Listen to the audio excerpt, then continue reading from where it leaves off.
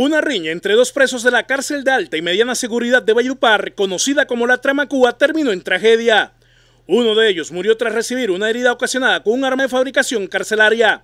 La víctima de este hecho fue identificada como Robert De Niro Jiménez Jiménez, quien murió en el hospital Rosario Pumarejo López cuando recibió atención médica luego de ser trasladado por miembros del IMPEC. El fallecido, quien era conocido con el alias El Samario, pagaba una condena de 45 años en prisión por homicidio y es uno de los autores del ataque con bomba molotov que ocasionó la muerte de las hermanas Ladies y Prada Benítez. Las adolescentes sufrieron quemaduras de segundo y tercer grados en distintas partes del cuerpo luego de que arrojaran una bomba molotov contra la vivienda donde éstas residían, ubicada en el barrio Villa Esperanza de Marambo Atlántico, suceso que se registró en el año 2013.